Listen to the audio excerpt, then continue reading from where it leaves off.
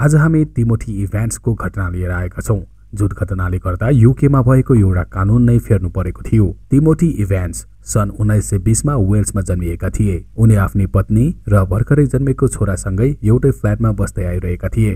लन्डनको एउटा फ्ल्याटमा सँगै बस्दै आएका उनीहरूको जिन्दगीमा एक दिन ठूलो घटना घट्यो जब तिमोथीको पत्नीको हत्यापछि तिमोथी आफ्नो घर छोडेर भागेका थिए। केही दिन भागेपछि तिमोथीले प्रहरी सामु आफूले आफ्नो पत्नीको हत्या गरेको भन्दै आत्मसमर्पण गरेका थिए। केही कुरामा झगडा परेपछि उनले रिसमा आफ्नै पत्नीको हत्या गरेको र लासलाई डरले त्यही लुकाएको स्वीकार गरेका थिए। तर प्रहरीले जति खोज्दा पनि उनको लास भने भेटाउन सकेका थिएनन्। केही दिनपछि तिमोथीले आफ्नो बयान फेरे।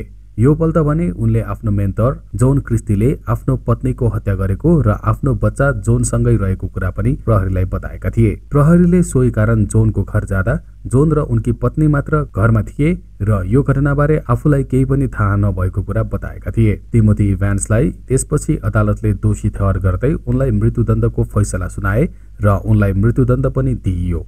यो घटना घटेको केही दिनपछि त्यही फ्ल्याटमा एक नयाँ मान्छे बस्न आए। त्यो व्यक्तिले फ्ल्याटमा खोज्दै जाँदा एउटा ढोका भेटाए जुन खोलेपछि यो केसले नयाँ रूप लिन पुग्यो र सत्यता बाहिरियो। त्यो ढोका पछाडि पाइएको सबुतले यो हत्याको पछाडि तिमोथीको नभई जोनको हात रहेको रहस्य खुलेको थियो। त्यो समयमा तिमोथी गरिबीसँग जुधिरहेका थिए र त्यही बेला उनको पत्नीले आफू फेरि प्रेग्नेन्ट रहेको खबर सुनाएका थिए। यो कुरा तिमोथीले जोनलाई सुनाउँदा जोन आफू आर्मीमा दक्तरको रूपमा काम गरिसकेको र एबोर्सन गर्ने भए आफूले गर्न सक्ने कुरा अवगत गराएका थिए। तिमोथीले यो कुरा उनकी पत्नीलाई भने र उनकी पत्नी पनि अबोर्सन गर्न राजी बनिन्। एबोर्सन गर्न जोनले एउटा ग्यास तयार पारे जसको प्रयोगले बेहोस गरी एबोर्सन गर्ने कुरा उनले बताए। तर त्यो ग्यास सुग्ने बित्तिकै तिमोथीकी पत्नीको मृत्यु भयो।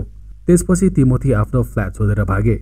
तर आफूलाई यो घटनाले धेरै पिरोलेपछि उनले प्रहरी सामु गएर आत्मसमर्पण गरेका थिए र आफ्नो साथी जोनलाई बचाउन उनले हत्याको दोष पनि आफूमाथि नै लिएका थिए। जोनले आफ्नो बच्चालाई भेट्न नदिएपछि तिमोथीलाई शङ्का लाग्यो र उनले प्रहरीलाई सबै कुरा भने तर कसैले उनको विश्वास गरेनन्। वास्तवमा जोन एक सिरियल किलर थिए जसले तिमोथीको पत्नी पची चार अर्को महिला हत्या गरिसकेका थिए। त्यसरी नै जोनले आफ्नै पत्नीको पनि हत्या गरेका रहेछन्। यो घटनाले मृत्युदण्डको कानूनमाथि नै प्रश्न उठाएको थियो र मृत्युदण्डलाई बेलायतको कानूनबाट हटाइएको थियो र मृत्युपछि तिमोथी निर्दोष साबित भे तर यस्तो न्यायको के अर्थ रहो र